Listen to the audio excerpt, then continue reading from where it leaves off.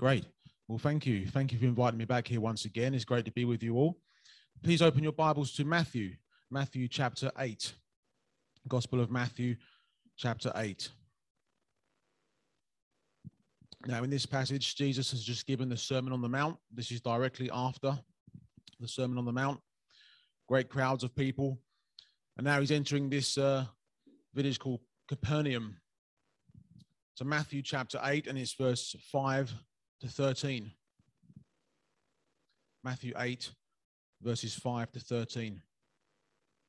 Now, when Jesus had entered Capernaum, a centurion came to him, pleading with him, saying, Lord, my servant is lying at home paralyzed, dreadfully tormented. And Jesus said to him, I will come and heal him. The centurion answered and said, Lord, I am not worthy that you should come under my roof, but only speak a word, and my servant will be healed. For I also am a man under authority, having soldiers under me. And I say to this one, Go, and he goes, and to another, Come, and he comes, and to my servant, Do this, and he does it. So, what he's saying here is that he recognizes who Jesus is, and he recognizes that Jesus has authority over these things illness, demonic possession. He knows that Jesus has authority over all these things. When Jesus heard it, he marveled and said to those who followed, Assuredly, I say to you, I have not found such great faith, not even in Israel. And I say to you that many will come from east and west and sit down with Abraham, Isaac, and Jacob in the kingdom of heaven. But the sons of the kingdom will be cast into outer darkness. There will be weeping and gnashing of teeth. Then Jesus said to the centurion, Go your way as you have believed, so let it be done for you. And his servant was healed that same hour. So great faith shown on the part of here of a Roman centurion, which Jesus said he hadn't found in all of Israel. Now, the Bible tells us is that we are saved by grace through faith. It's not our works that save us, it's by grace through faith. Ephesians chapter 2, verses 8 to 9 For by grace you have been saved through faith, not by works, lest any man should boast. So none of us will be able to boast when we stand before that throne on the day of judgment. None of us will be able to boast about our own goodness or our own works. It's all about what Jesus did for us. It's not what we can do for Jesus to earn our place in that heavenly kingdom. It's about what he has done for us. Now, this has always been the case. Salvation by grace through faith is nothing new. It's always been the case, even in the Old Testament. People often ask me, how were people saved in the Old Testament? Exactly the same as we are now. It's all by grace through faith. There's an Old Testament verse quoted three times in the New Testament. It's quoted in Romans 1:17, Galatians 3:11, and Hebrews 10:38. The righteous shall live by faith. Now, this comes from the book of Habakkuk, Habakkuk chapter 2, verse 4. Behold, the proud, his soul is not upright in him, but the righteous shall live by his faith. Now, the Hebrew word there for faith is emunah. Emunah is the Hebrew word for faith. But in this text in Habakkuk, in the Hebrew text, it's emunato. That means live by his faith. The righteous will live by his faith. Now, in Hebrew language, these words who have the same root, they're normally connected, especially theologically. So the word for truth is emet, emet, and the word for faith is emunah. Emunah means to be steadfast and firm. So it means to be steadfast and firm in the truth, because the word emet, it has the same root as emunah, so it means to be steadfast in the truth. And Jesus said that he is the way, the truth, and the life. Now, salvation by grace also goes back to the beginning as well. Again, this is nothing new. We see this in Genesis chapter 6, verse 8. Noah found grace in the eyes of the Lord. Now, the Hebrew word there for grace is chen. Chen. There's another word for grace, which we often see in the Bible more so than this. It's chesed. Chesed. And that's when we see words like steadfast love, your, your steadfast love, Lord the word there is chesed. Now, there's a difference in that chesed is more like a two-way thing, whereas chen is just God's grace to you. It's a one-way thing. That's the difference. And we only see this word here in Genesis 6, 8. So grace goes back to the very beginning. Noah found grace in the eyes of the Lord. Salvation in the Old Testament has always been by grace through faith. Now, what has changed is the atonement. Remember, I spoke to you last time I was here. We spoke about the Day of the Atonement, Yom Kippur.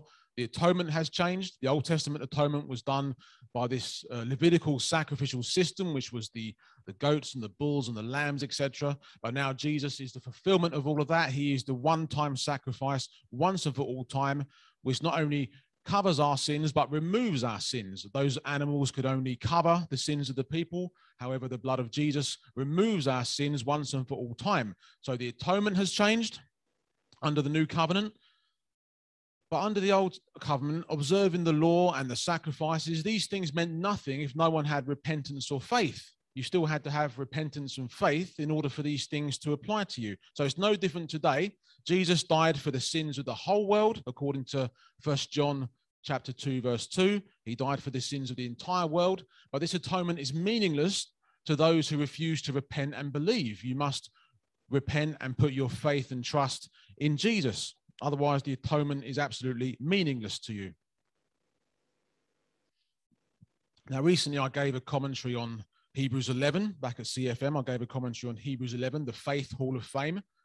In Hebrews 11, verses 1 to 3, it says, Now faith is the substance of things hoped for, the evidence of things not seen. For by it the elders obtained a good testimony. By faith we understand that the worlds were framed by the word of God so that the things which are seen were not made of things which are visible. So these things that we cannot see, we still see evidence for them. We still see their effects. You can't see wind, but you can see the effects of wind.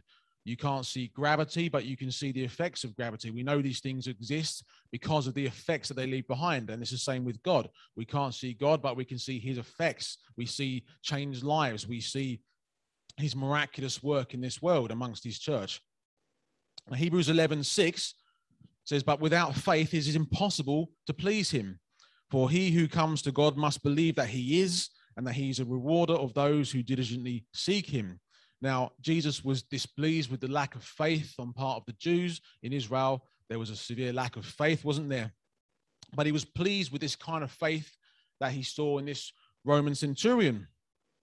Now, of course, this centurion was not a Jew. He was he would have been a Roman. He was a Gentile and he must have been well familiar with the Hebrew scriptures. The fact that he was a Gentile then prompted Jesus to allude to something which he alluded to more than once in the Gospels. Verse 10 Assuredly, I say to you, I have not found such great faith, not even in Israel. And I say to you that many will come from east and west and sit down with Abraham, Isaac, and Jacob in the kingdom of heaven. But the sons of the kingdom, that's Israel, will be cast into outer darkness. There will be weeping and gnashing of teeth.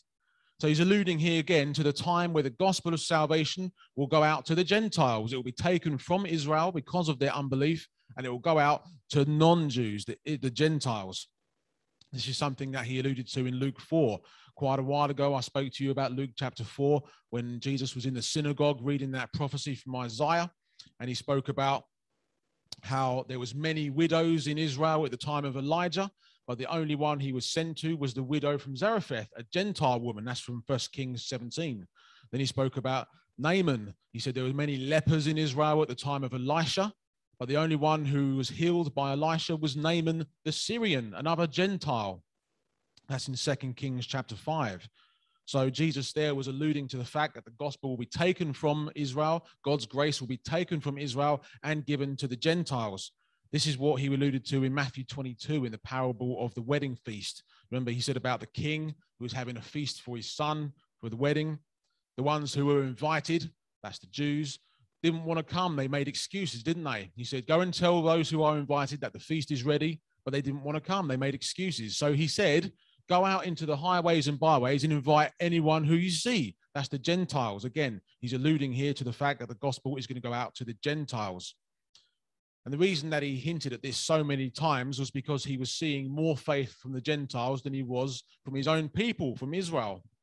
Do you remember the Syrophoenician woman? The Syrophoenician woman in Mark 7, also in Matthew 15.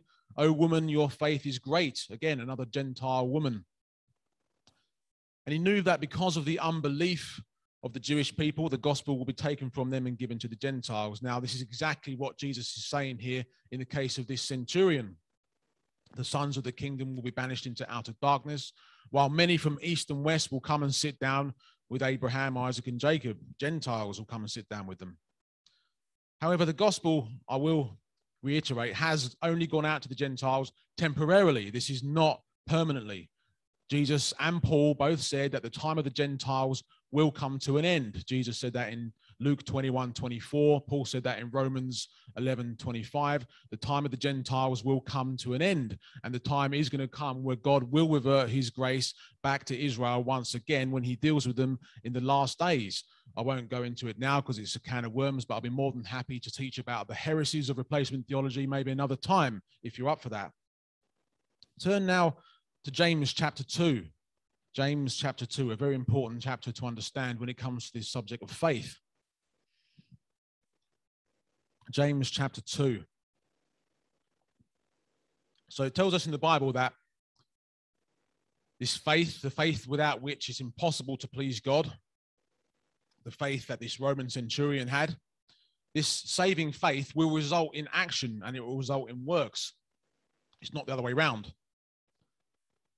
It's not works which results in salvation, it's salvation which results in works. So, James chapter 2, from verse 18, James 2 18 to 26. But someone will say, You have faith and I have works. Show me your faith without your works, and I will show you my faith by my works. You believe that there is one God. You do well. Even the demons believe and tremble. We hear this all the time when we evangelize in the high street. Oh, I believe in God. And we say, Yeah, so what? So do demons. What God do you believe in? But you want to know, O foolish man, that faith without works is dead. Was not Abraham our father justified by works when he offered Isaac his son on the altar? Do you see that faith was working together with his works? And by works, faith was made perfect. And the scripture was fulfilled, which says, Abraham believed God, and it was accounted to him for righteousness. And he was called the friend of God. You see that a man is justified by works and not by faith only.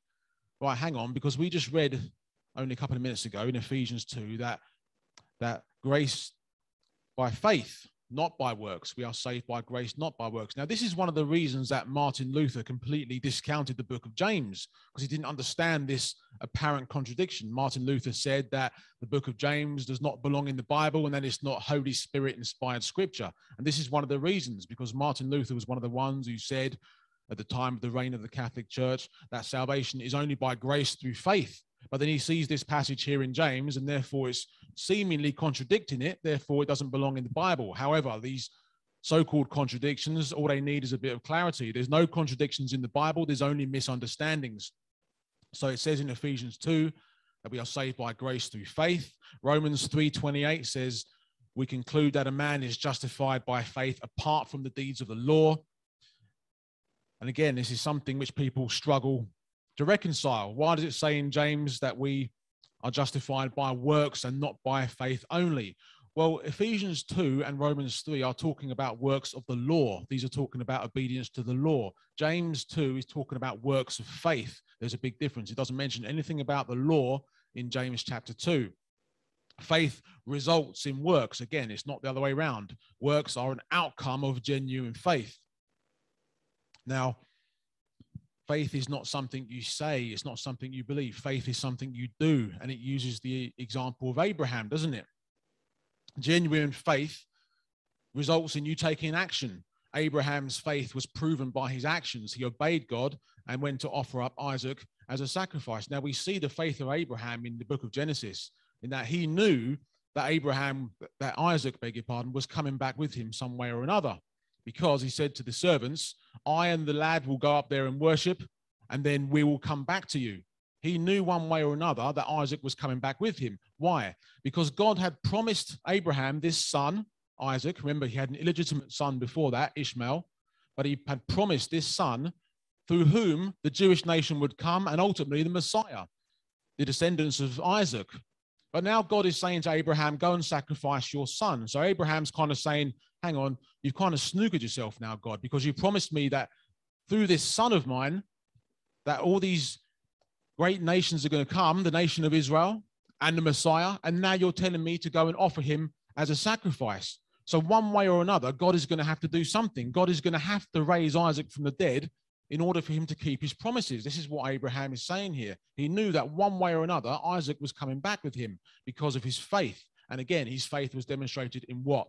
His actions. He took that action. And then obviously, God stopped him from sacrificing Isaac. It was a test, a test which Abraham passed because his faith was demonstrated by his actions.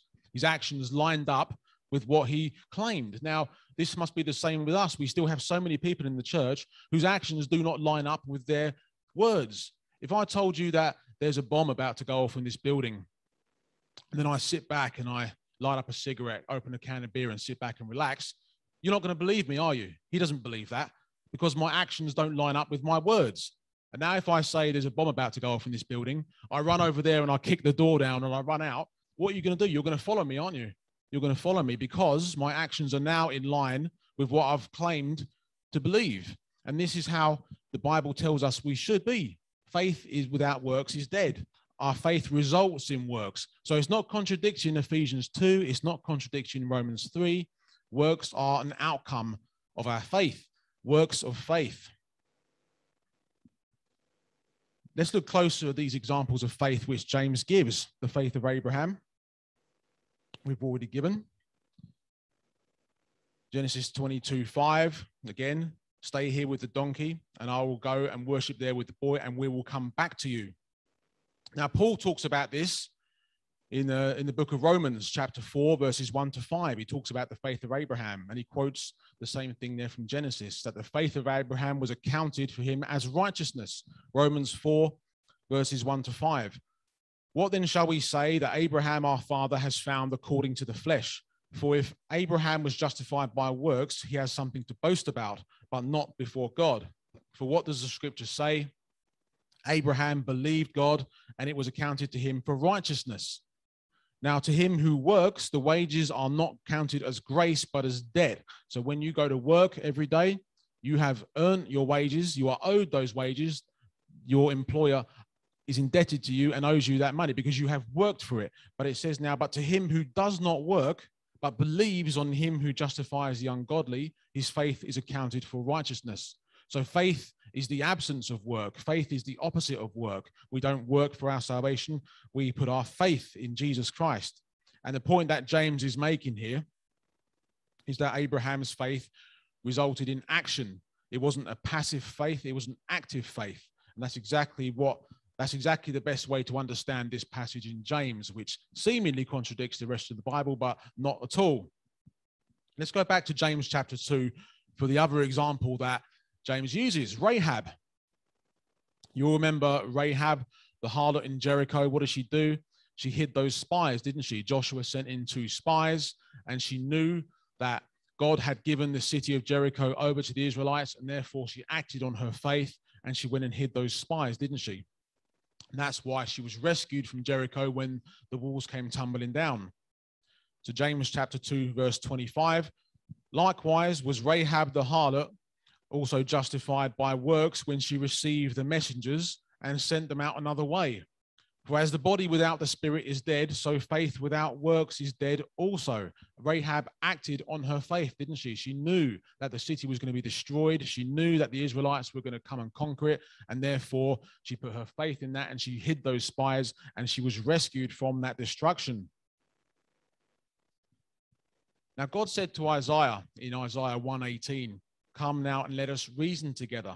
God does not require us to put our faith in anything unreasonable. Our faith is a reasonable faith. To be saved, we must believe that Jesus died for our sins and that he rose from the dead. That's what God requires us to put our faith in. And again, it's not a blind faith. God never requires us to have a blind faith. We hear this all the time. Oh, it's a blind faith. You know, you have no evidence for it.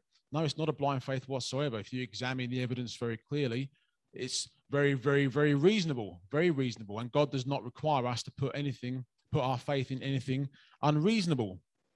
People want evidence all the time, don't they? But we hear this I'll believe it when I see it. Well, God doesn't say believe it when you see it. He says believe it and then you will see it. It's the other way around. The world always gets things the wrong way around, don't they? It's not I'll believe it when I see it. It's believe it and you will see it. Now, there's a guy called Sir Lionel Luckhoo Lionel Luckhoo. He's the world's most successful lawyer. He holds the record for 20, uh, 245 consecutive victories out of 245 cases. He holds the record for the most consecutive victories. He spent his life proving that the resurrection and existence of Jesus Christ is real. He put that evidence through the same scrutiny and, and, examination as you would do in a court of law. Now, he put this through a court of law, and this was his conclusion in his book, which he wrote. I humbly add, I have spent more than 42 years as a defense trial lawyer, appearing in many parts of the world, and I'm still active practice. I have been fortunate to secure a number of successes in jury trials and I say unequivocally, the evidence for the resurrection of Jesus Christ is so overwhelming that it compels acceptance by proof, which leaves absolutely no room for doubt. That's from his book, The Question Answered Did Jesus Rise from the Dead? Absolutely no room for doubt. In a court of law, something must leave no room for doubt. And this is exactly the conclusion that he came to. The world's most successful lawyer came to that conclusion because of the evidence that was put through a court of law. Our faith is not a blind faith. Don't say, I'll believe it when I see it. It's believe it and you will see it. Lee Strobel was a well known atheist from Chicago, an investigative journalist. You must have heard of his book, The Case for Christ. His wife became a Christian. He was devastated. He said, That's it. I'm going to dedicate my life now to disproving this nonsense. I'm going to disprove this rubbish once and for all time. I'm going to disprove that Jesus ever rose from the dead to bring his wife back from the Christian faith. He spent months and months investigating the evidence. He spent months and months looking into things. And the conclusion that he came to is that he could not disprove it. He went on to become a Baptist minister and a professor of Christian thought at Texas University, I think it was. That was the conclusion he came to because he examined the evidence with due consideration. Now, if you do that, you only come to one conclusion that Jesus is the only way, the truth, and the life, and that he rose from the dead on the third day for our sins without faith, it is impossible to please God. Now, so many people in the church think they're going to heaven because of their works. So many people think they're going to heaven because they were christened as a baby. They think they're going to heaven because some guy sprinkled water on them when they was a baby. That's why they think they're going to heaven. They think they're going to heaven because they serve in the church or because they cut the grass or because they do repairs, something like this. This is what they're putting their faith and trust in. Jesus said, Depart from me, I never knew you. Only those who do the will of my Father will be granted into the kingdom of heaven. Only those who do the will of my Father. And what is the will of the Father? To believe on him who he sent, to believe in Jesus Christ. We cannot please God with our works. Works result in our salvation. We cannot be saved by our works. We are saved by grace through faith. It's always been the case, it's never changed. Salvation has always been by grace through faith. And without this faith, it is impossible to please God. Our works in the Bible apparently are filthy rags, it says. Your works are like filthy rags. Your righteous acts are like filthy rags. Your own goodness and your own righteousness, the Bible says, is like a stench in God's nostrils. That's right. The Bible says that. Your works and your righteousness are a stench in his nostrils. The only thing that can ever justify us, the only thing that can ever please him is when we forsake our works, when we forsake our own life, deny ourselves, and put our faith and trust in his only Son, Jesus Christ, who died and rose again for the sins of the world. And those who put their faith and trust in him will be forgiven of all sin.